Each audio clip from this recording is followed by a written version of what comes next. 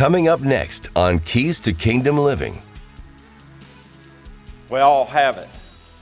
Sometimes it's, it's like a rash, it just breaks out. Sometimes you can get it medicated. You have some peace going on. You can go to sleep, kind of get a witness. But for the most part, Satan likes to come over there and, and just stir you up and then throw gas on the fire and then stand back and watch you burn. All I got to do is initiate it, they do the rest. I just irritate them, they go to scratching. Look what James said. Where do wars and fights come from among you? You ever been in a church fight broke out?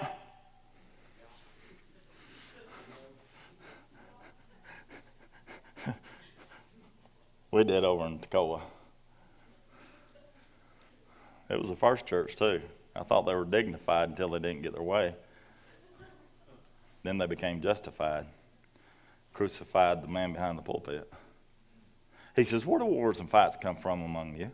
Do they not come from your desires for pleasure? That what? They war in your members. Even though you're saved, you have pleasures that war in your member against the law of God in your mind.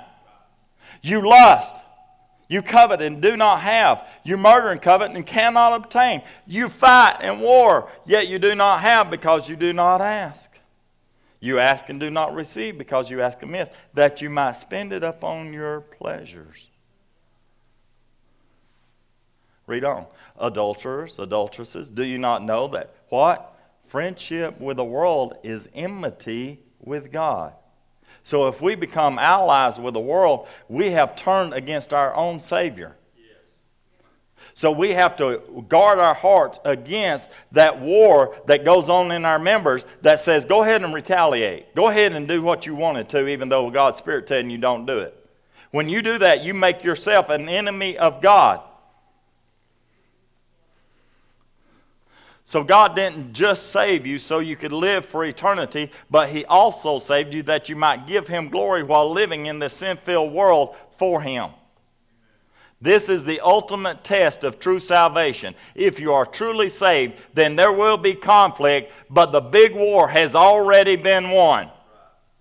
Jesus stripped all principalities and powers and displayed them openly on the cross. And when God sent you His Spirit and saved you out of the world, you won the greatest battle you will ever fight. But just because that victory has been won, we still in the flesh, and the enemy like to fight us in the flesh. We don't war against flesh and blood. We war against principalities, powers, spirits, wickedness, and high places. So he comes at us in the flesh, in our weakest, in our Achilles' heels, if you will. The Lord told me that there would be people here today that are warring with their salvation and they're tired and are considering returning to their old lifestyle. The Lord wants you to love Him with all your heart. Say that with me. Love the Lord with all your heart, your soul, and your strength so that He can then empower you to win the war that Satan has already lost at Calvary. It's already been won, but by faith we wasn't there.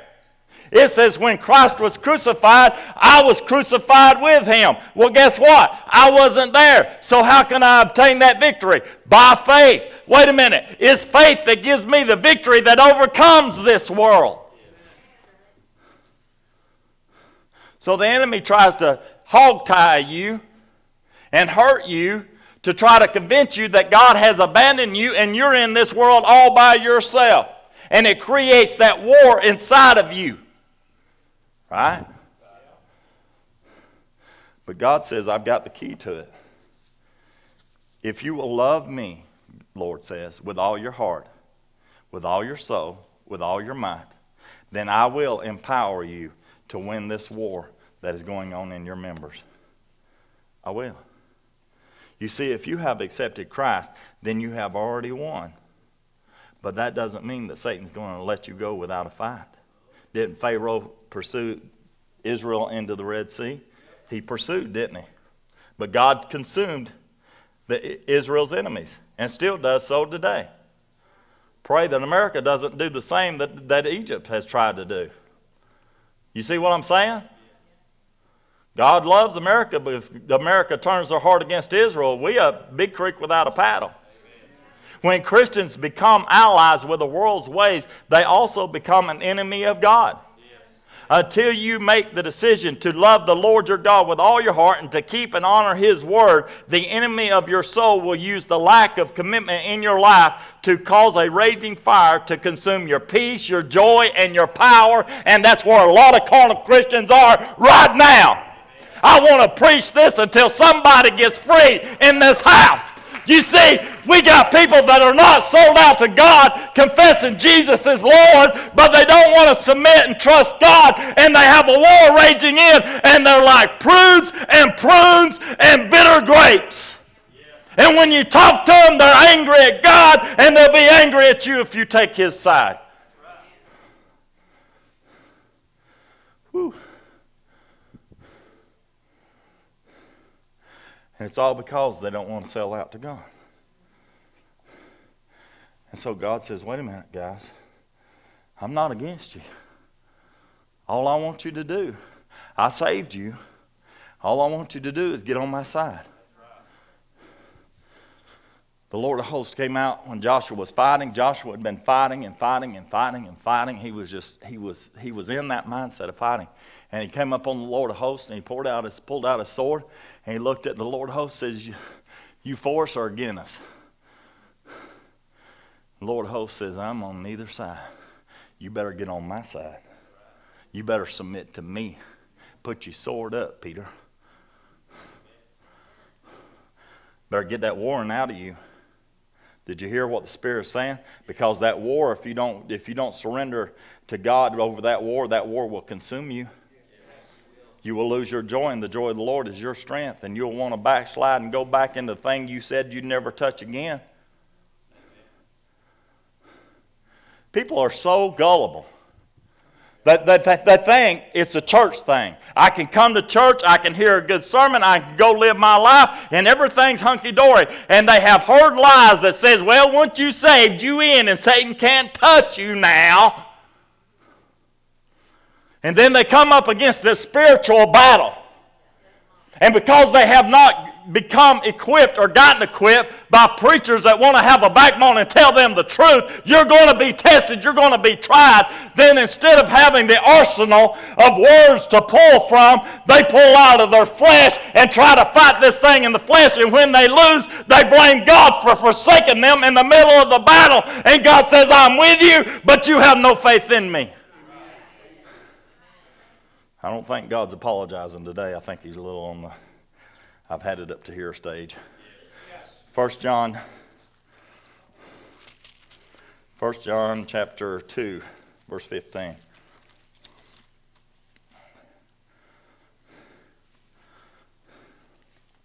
Are you okay? It's going to get better.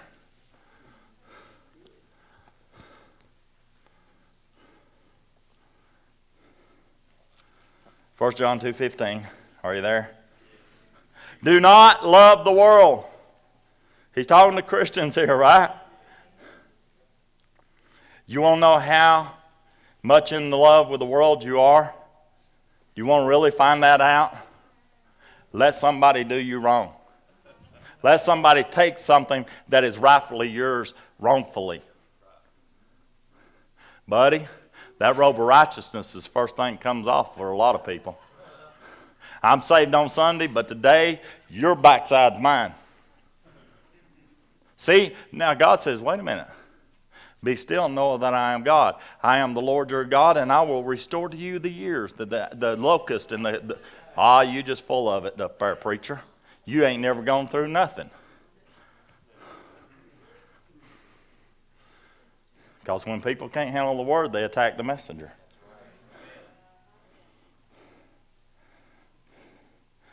God says, if, if He says be still, and they're stealing you blind, there's a reason. He's wanting to see do you love the world more than your faith in God? Because He's the one that gave it to you. Naked I came in, and naked I'm going to go. And in all that Job went through and all that he lost, he didn't uh, charge God foolishly, nor did he sin against God. He says, It's God's. If he wants to burn it down, let him burn it down. I'm getting me a new one in nine months. now, who told Job there's a reward after all this hell?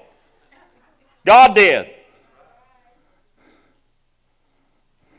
It's Satan that wanted to turn Job against God. He says, Love not the world, nor the things in the world. If anyone, look at it, if anyone loves the world, the love of the Father is what? Not in him. For all that is in the world is the lust of the flesh, the lust of the eyes, and the pride of life, and is not of the Father, but is of the world. The world is what? Passing away, and the lust of it. But he who what? Does the will of God abides how long? Huh. As your pastor, it causes me deep grief and concern when I see God's people fighting the war within them, especially if their heart isn't fully committed to their faith. You can't serve God and have it your way all the time. It ain't going to work. One of you's got to be God.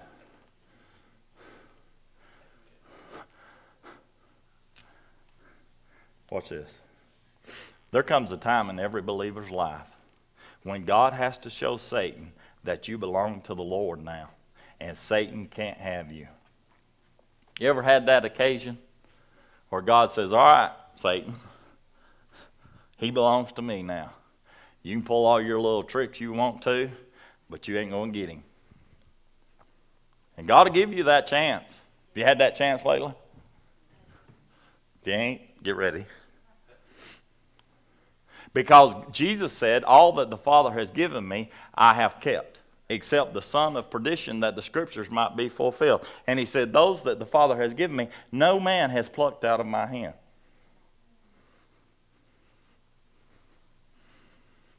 Now, turn with me to Luke 22. I want to show you something, then I'm going home.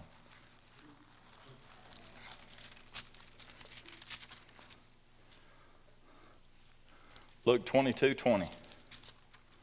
Lord showed me this, and it's like, wow, God, that's good.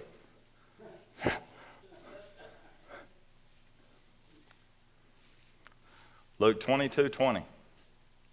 This is the night that Jesus is going to be betrayed. There's a lot of junk happens on the night Jesus gets betrayed. I mean, a whole lot of stuff happens.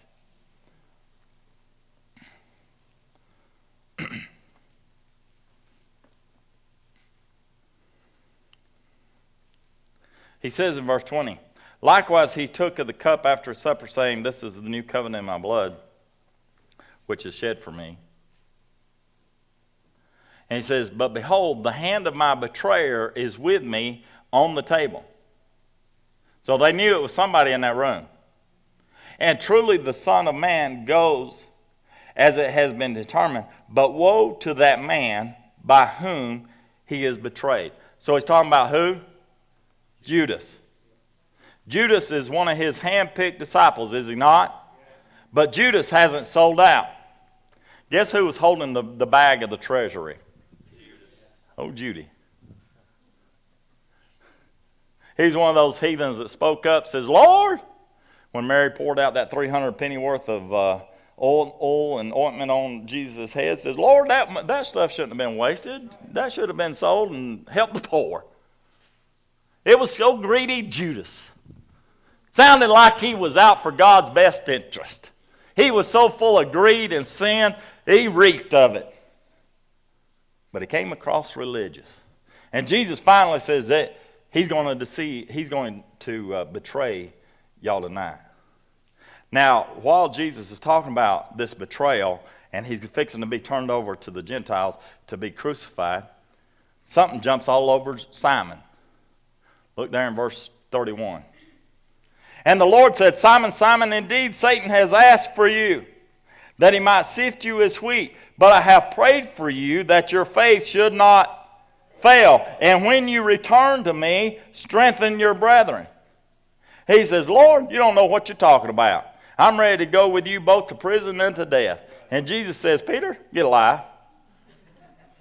You're going to deny me three times tonight before the rooster crows. Now, watch. Satan had Judas, did he not? Here's the mistake Satan made. He says, Since I have Judas, who gave himself over to me, he thought he could have Peter too. Because Peter was acting in the flesh. Jesus says, You acted so much in the flesh, Satan, get thee behind me. But there was a difference between Judas and Simon. And Satan didn't know about this. Peter had faith in Jesus, but Judas had faith in silver. now the lights are coming on. Took us a while. And y'all wonder why I preach so long. See, if you love the world and the things in the world, you won't sell out to Christ. And if you don't sell out to Christ, when the test comes, you won't have the commitment, nor the tenacity, nor the power to resist the devil when he comes. And Judas was sold out to silver, but Simon was silently sold out to Jesus. And when the sifting came, Judas hung himself, and Simon preached on the day of Pentecost. Can I hear something in this house today? I may have a little time where I deny Christ, but you come cut my throat, and I guarantee you I'm going to bleed Jesus. I have sold out to him. And Jesus knows those that sold out. And he knows those that play around. So, he says, Love me with all your heart. And when you do, you'll overcome that war. Now turn with me to Romans 6, please. Verse 1.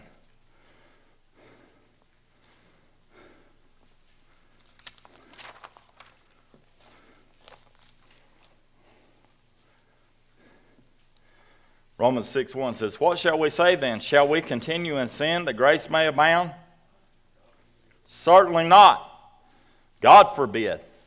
How shall we who what? Died. Saul of Tarsus died.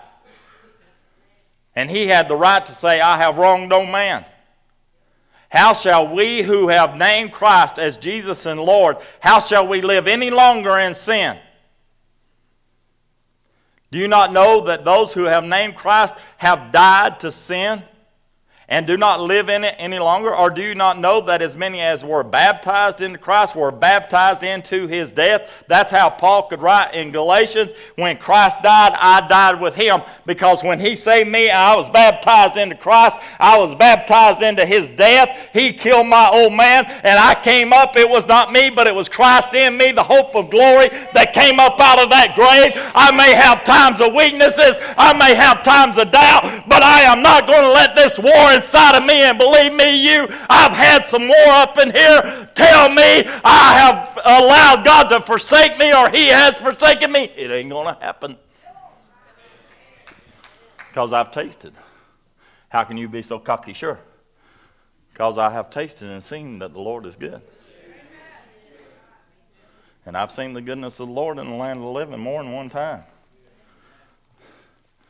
Now, so why does Satan fight us?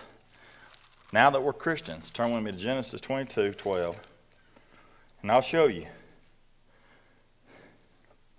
Here's why Satan fights you. Abraham was in covenant with God by this time, was he not? Did Satan keep fighting him? You know he did.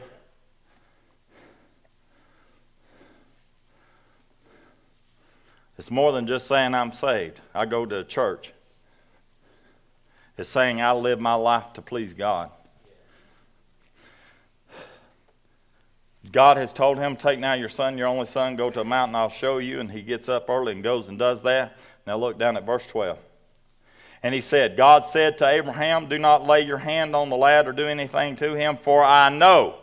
You see that? I know that you, he says, fear God, but you could go ahead and say that you love me more than your son since you have not withheld your son, your only son, from me. See, he obeyed when he, he was willing to sacrifice what he loved the most on earth. You see that?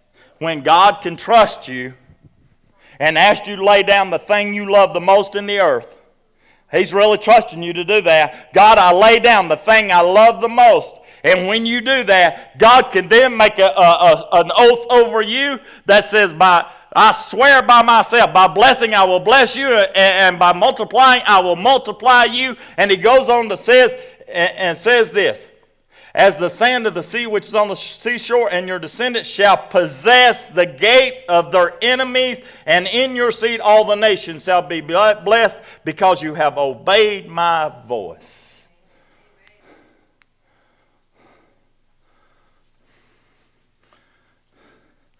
He was willing to love God more than his own son.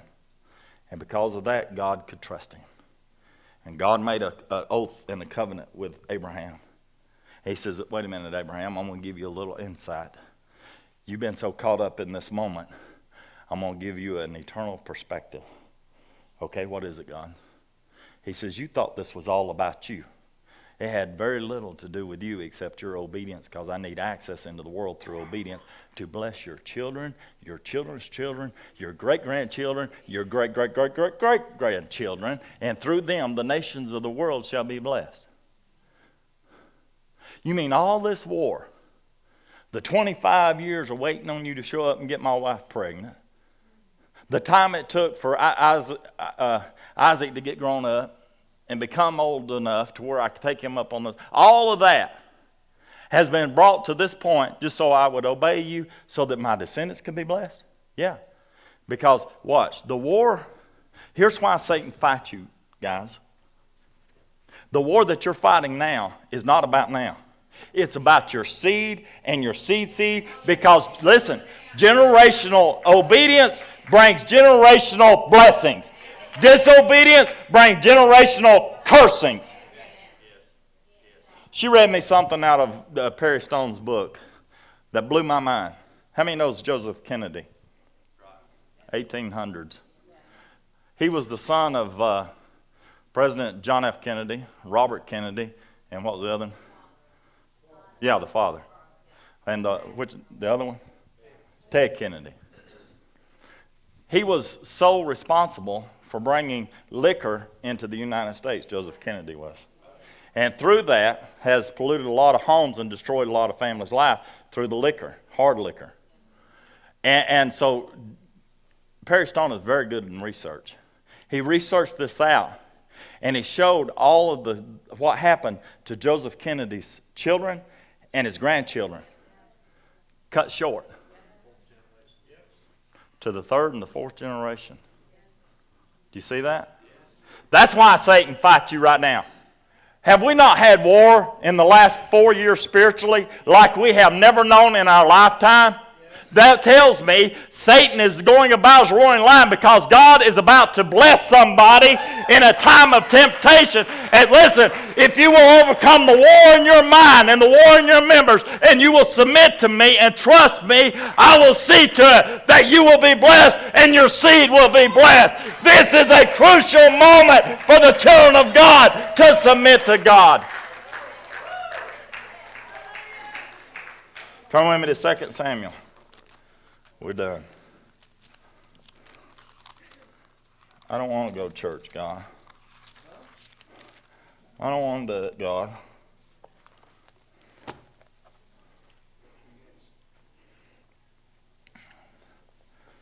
Second Samuel twelve seven. David has had a little fling going on inside. And he's kept it hush hush.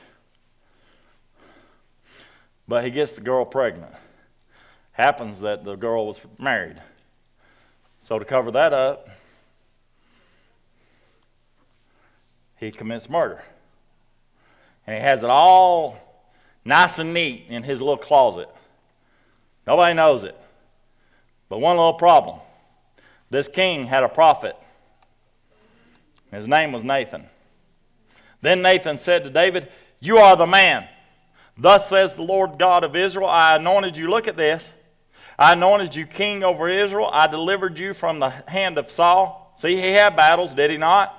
I gave you your master's house. He won those battles, and he got the, the spoil. I, got, I gave you your master's wives into your keeping, and gave you the house of Israel and Judah. And if it had not been, if it had been too little, I also would have given you much more. Why? Look at it. Why have you despised the commandment of the Lord? There was something that God told him to do, and he would not do it because he wasn't feeling like he was getting his just rewards. If you were not here Wednesday night, I beg you, I beg you, get a copy of Wednesday nights. Uh, beware of the spirit of entitlement. He says, You despise the commandment of the Lord to do evil in his sight. You have killed Uriah the Hittite with the sword. You have taken his wife to be your wife and have killed him with the sword of the people of Ammon. Now, therefore, the sword, look at it. He had a war going on in his members. It's called L U S T and covet, right? He coveted his neighbor's wife. And because of this war, he gave in to it. Now, therefore, look what's going to happen. Because you, Christian, gave in to this, the sword shall never depart from your house because you despised me and have taken the wife of Uriah the Hittite. Thus says the Lord, Behold, I will raise up uh, adversity against you from your own house, and I will take your wives before your eyes and give them to your neighbor, and he shall lie with your wives in the sight of this son. You did it secretly, but I will do this thing before all Israel and before the sun. People think God is so passive. Just do what you want to. As long as you don't cut them off in traffic, you're all right. God wants you to know. That's Old Testament. Yes, you're right. Turn to Galatians 6 and, and read what Paul said under the anointing. He says, If you sow to the flesh, you will of the flesh reap corruption. That word corruption means to decay and die. He said, Because you have done this and you allowed that war inside of you to become a war in your hand, now that sword will never leave your house. And there was death in David's house, was there not? Yes.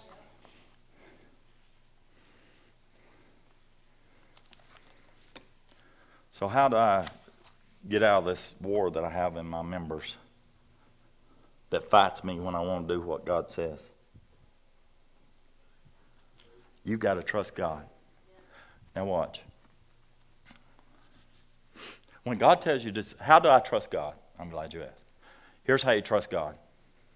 When God tells you to do something and it goes against everything in your mental capacities or your emotional capacities or any other capacity, it goes against you, but you know it's thus saith the Lord. If you will go ahead and do it, that's trust. Right? But if you do not do it, then God says, okay, it was your disobedience because now you've drawn back in unbelief. And you have now opened up the door through your flesh for Satan to come in and to devour. Now you're going to have a circumstance that makes you that will make you trust me. Got it? You ever gone through a circumstance? You said, God, you're just going to have to carry me through this, because I don't, I, I, I don't have faith to get through this. You ever been there? I have. He says, All right, if you can trust me in that circumstance, then why can't you trust me when there's not a circumstance and I just asked you to do something? Why does God have to force those who say they love Him to trust Him? Why? Because they're not sold out. If you sold out, you'll trust. Amen? Do you love me? Stand to your feet. For 2,000 years, people have wrestled with who he is. Embark on a journey with Pastor Asa Dockery in his new book, The Greatest Revelation. To find out more about the true identity of Jesus, order online now at whcnorth.org. When you sow into this ministry with a gift of $50 or more, Pastor Asa wants to give you his latest audio series entitled Discipleship 101 Making Disciples of All Nations, and as a bonus, his latest book, The Greatest Revelation. Can't seem to find time to get into God's Word? Need an encouraging word at the right moment? Pastor Asa's daily devotions are available on our website at whcnorth.org. Use the Devotions tab and simply add your email address in the box provided or download the app for your smartphone. We pray that you've been impacted by today's message. If you need more information or would like to contact us, visit us on our website at whcnorth.org or contact us by phone at 706 374 6175. To write us, our address is P.O. Box 968 Morganton, Georgia 30560. Our campus is located at 135 Bud Franklin Drive, Blairsville, Georgia 30512.